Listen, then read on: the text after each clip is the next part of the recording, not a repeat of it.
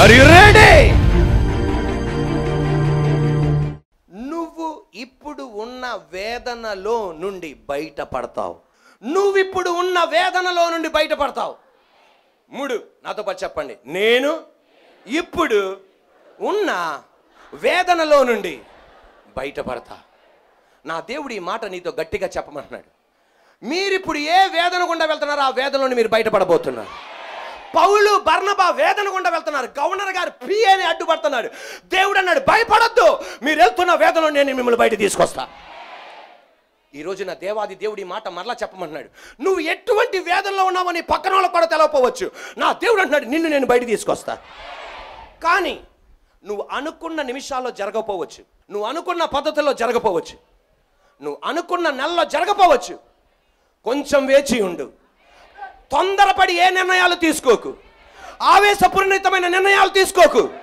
నిన్ను నేను బయటికి తీసుకొస్తా. మరలా దేవుడు ఈ మాట చెప్పమన్నాడు. నీ మీద మచ్చ పడకుండా నిన్ను బయట తీసుకొస్తా.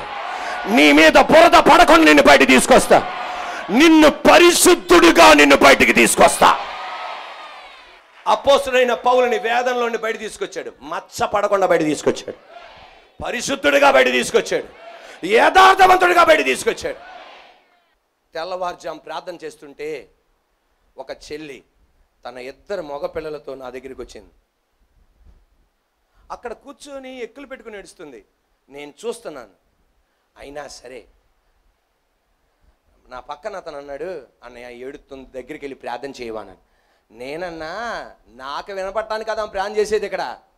ఏసయ్య వినబడటానికి ప్లాన్ చేస్తుంది అంతే. ఇప్పుడు నేను వెళ్ళి ఆమె ఏడు పాపితే కుదరదు. ఏసే సన్నిధిలో ఏడుతుంది ఏడవనే అన్న. దాదాపు నలభై ఐదు నిమిషాలు ఒక గంట దాకా ఏడుస్తూనే ప్రార్థన చేస్తుంది. ఆ ఇద్దరు బిడ్డలు నా దగ్గర తీసుకొచ్చింది. ఎందుకమ్మా ఇంతగా ఏడుస్తున్నావు అన్న? అన్నయ్య నేను పడే వేదన శత్రువులకు కూడా ఉండకూడదు అన్నయ్య. ఏంటి నాన్న అన్న? నన్ను ప్రేమించే నా భర్త నన్ను విడిచిపెట్టి మరొక స్త్రీతో ఉంటున్నాడు అన్నయ్య. తట్టుకోలేకపోతున్నాను అన్నయ్య. తట్టుకోలేకపోతున్నా. ఆస్తి అమ్మేశాడు పొలాలు అమ్మేశాడు. మొత్తం రాబడి మొత్తం ఆ అమ్మాయికి ఇస్తున్నాడు. మరి మీరు ఎలా పోషింపబడుతున్నానంటే నా ఇద్దరు అన్నయ్యలు మమ్మల్ని పెంచుతున్నారు. మా ఇద్దరు అన్నయ్యలు మమ్మల్ని పెంచుతున్నారు. అనగానే అన్న భయపడకమ్మా. అంటే ఏం భయపడక అన్నయ్య ఏం భయపడకు? అంతా అయిపోయింది. ఇల్లు అమ్మేసేసాడు పొలం అమ్మేశాడు పోని పొలం పోతే పోయింది ఆస్తి పోతే పోయింది బిల్డింగ్ పోతే పోయింది రెండంతస్తుల బిల్డింగ్. నా భర్త నా దగ్గరికి వస్తే చాలన్నయ్య ఆమె దీమి ఆమె వసిపరచ వశపరుచుకుంది రావట్లేదు అన్నయ్య. వేదనలో ఉన్నానన్నయ్య వెంటనే నేను ఒక మాట అన్నా. నిశ్చయంగా వేసే నేను బయట తీసుకొస్తాడమ్మా. కానీ ఒకటి నువ్వు అనుకున్న టైంలో రాకపోవచ్చు నువ్వు అనుకున్న వారంలో రాకపోవచ్చు నువ్వు అనుకున్న నెలలో రాకపోవచ్చు. నిశ్చయంగా వేదండి బయటికి తీసుకొస్తాడు. కంగారు పడకుండా తొందరపడి నిర్ణయం తీసుకోకుండా నిలబడటానికి రెడీ అయితే నా దేవుడు కార్యం చేయబోతున్నాడన్న. ఆమె ఏమీ మాట్లాడాల ప్రార్థన చేయండి అని చెప్పి ప్రార్థన చేసి పంపించా. నిన్న శుక్రవారం చెప్తుంది నా భర్త నా దగ్గరికి వచ్చేసాడన్నయ్య. ఉండండి.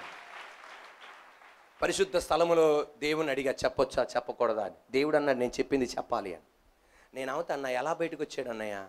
నేను ఎలా బయటకు వచ్చాడమ్మా ఆమె చెప్తున్న మాట ఇప్పుడు ఆమె అనాలి అరు రెడీ నేను నా బిడ్డలు కాకుండా ఆస్తిని పొలాన్ని అన్ని అమ్మేస్తే ఏ స్త్రీనైతే నీ ప్రేమే గొప్పది నీ ప్రేమే గొప్పది నీ ప్రేమే గొప్పదని వెంటాడాడు అదే స్త్రీ మరొక పురుషునితో ఉండటం చూశాడన్నయ్య. అక్కడే ఉమ్మేసి నా కాలు దగ్గరికి వచ్చి ఏడ్చాడు నీ ప్రేమే గొప్పది ఆమె ప్రేమ గొప్పది కాదు. ఇల్లు అమ్ముకున్నా పొలాన్ని అమ్ముకున్నా ఆస్తి నమ్ముకున్నా ఆ వంటనంట అన్నయ్య చెప్పాడు ఈ వేదనలో నుండి నేను బయటపడతానని. ఎవరండి నేను చెప్పడానికి? ఎవరండి నేను చెప్పడానికి? ఏ అధికారం ఉందండి? ఏసయ్య కుమారుణ్ణి నేను. ఏసయ్య కుమారుడివి కుమార్తెవి నువ్వు. నువ్వు పడే వేతను నువ్వు బయటకు వస్తావు ఆయన. ఆ భర్త ఈరోజు ఏడుస్తున్నాడండి. ఏడుస్తున్నాడు. నువ్వు పడే వేదన నుండి బయటకు వస్తావు. అన్న మందిరానికి వచ్చింది. ప్రతి ఏట వేదన పడుతుంది. నాకు పిల్లలు లేరు దేవా నా పిల్లలు లేరు దేవా నా పిల్లలు దేవా. అసలు గుణం ఏంటంటే తెలుసండి? వేదన పడుతుంటే పక్కన ప్రార్థన కోసం కూర్చుంటారే ఆ స్త్రీలకు జాలి కలుగుతుంది ఈ ఏడుపు చూసి. ఈమె ఏడుపు చూసి పక్కన స్త్రీలకి జాలి కలుగుతుంది. ఈ రోజున కొన్ని కొన్నిసార్లు నీ ఏడుపును చూసి పక్కన వాళ్ళకి జాలి కలిగిద్ది. ఏమి చేయలేరు వాళ్ళు. దేవుడు జాలి పడనట్లుంటుంది. దేవుడు కనికరించలేనట్టుంటుంది. అయినా భయపడద్దు.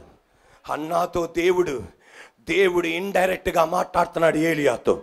నువ్వు పడే వేదనలో నుండి నువ్వు బయటపడబోతున్నావు బయటపడిందా లేదా? అనుకున్న టైంకి అవలా ఒకటో నెలలో అయిపోలా. ఐదో నెలలో అయిపోలా. తొమ్మిది నెలలు పట్టింది. ఈ రోజున నువ్వు పడే వేదన నుండి బయటపడతావు. దేవుడు మళ్ళా చెప్పన్నాడు ఆవేశపూరితమైన నిర్ణయాలు తీసుకోకండి. కంగారు పడి నిర్ణయాలు తీసుకోకండి. నిలబడు. ఆయన వాక్యమనే బండ మీద నిలబడు. ప్రతిరోజు నీతో మాట్లాడేది ఎందుకు తెలుసా? నాకు అది అర్థం కాదు ఎందుకు దేవుడు ఇలాంటి మాట్లాడుతున్నాడు నాకు అర్థం కాదు. దేవుడు అంటాడు నేను చెప్పింది చెప్పు. నాలాంటి ప్రజలు ఇక్కడ ఉన్నారు అని. నిలబడు. నీ వేదనని బయట తీసుకొస్తాడు పద్నాలుగు సంవత్సరాలు పిల్లలు లేరు. భార్య భర్తలు ఆ స్త్రీ మందిరానికి వచ్చి ఏడుస్తుంది. ఏడుస్తుంటే అన్నయ్య మా అత్తయ్య ఏమంటుంది తెలుసా? పద్నాలుగు సంవత్సరాలు అయింది నీకు పెళ్ళై. నా కొడుకుతో నా కుమారుడితో పెళ్ళై పద్నాలుగు సంవత్సరాలు అయింది ఒక బాబు కానీ పాప కానీ లేరు. ఇంకొక అమ్మాయిని చూస్తాం. ఇంకొక అమ్మాయిని చూస్తాం. ఎవరో చెప్పడం వల్ల చర్చికి వచ్చాను అన్నయ్య. పన్నెండు ఏ సంవత్సరం నేను వచ్చా? పెళ్ళైన పన్నెండో సంవత్సరానికి. పదమూడో సంవత్సరం. పిల్లలు లేరు. ఇప్పుడు పద్నాలుగు అయింది మందిరానికి వచ్చి రెండు సంవత్సరాలు. పిల్లలు లేరు అన్నయ్య మా అత్తయ్య వచ్చే సంవత్సరం కల్లా ఇంకొక అమ్మాయిని చూస్తానంటుంది. నేనన్నా భయపడద్దు. ఈ వేదంలో నువ్వు బయటపడబోతున్నా. పద్నాలుగో సంవత్సరం ముగింపక ముందే ఇద్దరు ఆడపిల్లల్ని కవల పిల్లల్ని దేవాది దేవుడు ఇచ్చాడు. చప్పట్లో కొడుతుండగా నా దేవుడు చెప్పేది నువ్వు పడే వేదంలోని నువ్వు బయట పడతావంతే ఎవడాపలేడు నువ్వు బయట పడతావంతే అది గవర్నర్ గారి పిఏ అవనే గవర్నర్ అవనే సీఎం అవనే పిఎం అవనే. అది పాస్టర్ గారు అవనే ప్రవక్త అవనే. నా దేవుడు అంటున్నాడు నిన్ను నేను ఆ వేదంలోని బయట తీసుకొస్తాను. ఇస్రాయేల్ ప్రజలు ఎర్ర సముద్రం దాటి బయటకు వచ్చారు. మూడు రోజులు ప్రయాణం చేశారు. నీళ్ళని చూసి వెళ్ళారు. కానీ అవి మంచి నీళ్ళు కావు చేదు నీళ్ళు ఒక్కసారి అని ఊసేశారు. ఎందుకయ్యా నీళ్ళ దగ్గర తీసుకొచ్చావా? ఎందుకు ఇటువంటి నీళ్ళ దగ్గర తీసుకొచ్చావు? చేదు నీళ్ళ దగ్గర తీసుకొచ్చావు? కానీ మోషతో దేవుడు అన్నాడు ముప్పై లక్షల మందిని నిన్ను ఈ వేదంలో నేను బయట తీసుకొస్తా. నువ్వు అనుకున్న టైంకి కాపోవచ్చు. నువ్వు అనుకున్న పద్ధతిలో కాకపోవచ్చు. అదిగో చెట్టు కమ్ముంది ఎర్రగొట్టి నీటిలో పడే అన్నాడు అంతే చేదు నీళ్ళు మధురంగా మార్చాడు.